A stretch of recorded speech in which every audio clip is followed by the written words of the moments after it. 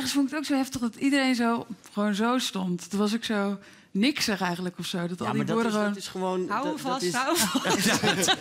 We hebben het nodig voor de promo. Laat het maar duren.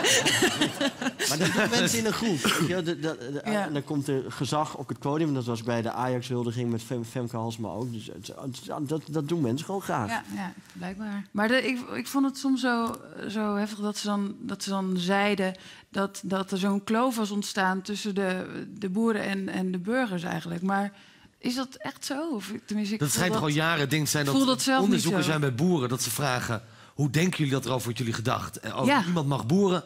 En dat wordt gevraagd aan het volk, hoe denk je over boeren? Ja, die vinden we hartstikke top. Dus er zit een hele rare discrepantie. Ja, precies. Dus wat, Nou ja, kijk, dat, dat boer zoekt vrouw. Dat, dat, dat, dat is hoe de meeste mensen boeren kennen. Als we de veestapel moeten halveren, kunnen we dan niet gewoon beginnen met Yvonne Jaspers? Gewoon kijken wat het doet. Nou ja, het doel van deze discussie is wel om Yvonne Jaskers hiervoor verantwoordelijk te maken. Ja, Laten we dat, laten we dat, laten we er geen doekjes om winden, jongens. Maar is het duidelijk geworden waarom ze nou gingen protesteren, mevrouw Jentel? tegen de halvering dus van de ve eh, veestapel. Ook. En Ja, erkenning. Maar ook erkenning inderdaad. dat vind ik wel mooi. Toch? Dat ze erkenning willen. Dat je, dat je ook, ook een dag denkt, ik wil gewoon erkenning. Ik, ik trek gewoon naar Den Haag en ik rij gewoon hekken omver. Nee, maar ik, ik kan daar heel veel begrip voor. Ja, ze Ja. hebben het idee dat ze voor heel veel dingen de schuld natuurlijk krijgen. En is dat terecht wat jou betreft of onterecht? Ja, dat is wel terecht. Ja, dat krijgen ze ook. Maar het is ook een groot probleem. Er moet ook iets gebeuren. Ja. Nee, maar ik gooi het maar even eh, desk-wide eh, Ja. open. Want dan wordt er gezegd, ja, we zijn de beste boeren van de wereld... de meest efficiënte boeren van de wereld. Alsof er geen probleem is en dat wij hun dat probleem Nee, maar dat probleem is natuurlijk... Kijk, als jij mij drie jaar geleden had gevraagd... vind jij dat eh, koeien een probleem zijn voor de opwarming van de aarde?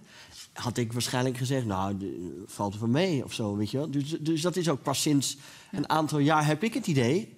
eh, dat dat opeens als, als grote boosdoener... en ik kan me heel goed voorstellen dat die boeren denken... ja, jongens, wacht eens even. eh, eh, volgens mij, eh, we moeten allemaal ons steentje bijdragen... maar ga het nou niet hier halen. bij- bij Ja, en je hebt natuurlijk ook boeren die er heel veel al aan doen. Dat is waar. En ook, in, ja. in die zin, kijk, de, de maximumsnelheid moet naar beneden en Ja. de veestapel moet worden gehalveerd. Aha. En ik zie gewoon een vrij duidelijke oplossing. Namelijk, als je dat gewoon doet, die veestapel halveren, houden de boeren tijd over. Kunnen ze af en toe met z'n allen de weg op, waardoor de maximumsnelheid weer naar beneden gaat.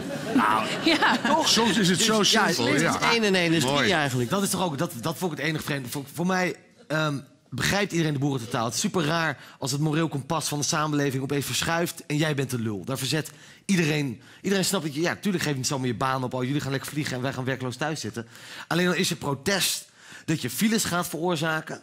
Dat mensen later bij hun werk komen. Dat ik denk, Ja, maar jij, jij hebt pas sinds één week je rijbewijs. Ja, ik ben maar je, woedend. Ik ben nee, maar, Nee, Hè, dus dus jij komt er makkelijk mee weg, maar jij gaat nog... Oh jongen, jij gaat nog frustraties krijgen, jongen. Van, van files dat je denkt... En dan is er niks gebeurd, weet je wel. Dat je denkt, ja, geef er dan tenminste nog een ongeluk. Hè, waar, ja, waar, waar je naar kan kijken. Maar dat is... Nee, maar is, is het een goede actie? Levert het sympathie op? Want ze zeiden 90% van Nederland staat achter ons. En, dus ja, maar Ik heb vind het- wel. Ik heb wel het idee dat ze echt sympathie opgewekt hebben op deze manier. Mhm. Ik vraag me af alleen omdat dat het dan hadden nu... ze toch ook al wel? Ja, ik heb ook niet het gevoel dat dat nou heel Ja. niet zo was. En ik vind het vreemd dat dat dan zo bekendgemaakt wordt later. Ja, we gaan inderdaad die feeststapel halveren. En, en dat, dat ik nu het gevoel wat hebben ze nu bereikt nou, dan? ze gaan toch niet halveren? Ze gaan boeren die gaan geen verkleinen. opvolging hebben... gaan ze eh, actief helpen om te stoppen. Nou, dat vind ik best een goede En dat manier. is gewoon met geld, toch? Ja, ook. Boeren, boeren uitkopen. Boeren uitkopen. Ja. Prima.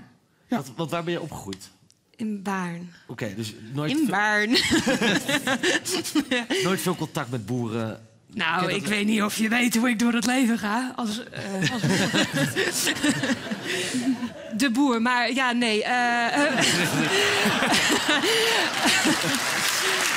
maar, ehm, Denk je ook, wat is dit voor een kutfilmpje? Druk dan hier op advertentie overslaan. Ja, dat is ook handig. Het zit er toch niet? Hè? Je, je, zit- je lult achter de Dat advertentie. is Dat juist de grap! En subscribe hier. We hebben je nodig.